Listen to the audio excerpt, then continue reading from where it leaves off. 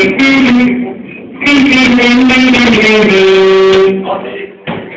a részt most kihagyjuk. Most csak az előzőbe belekezd.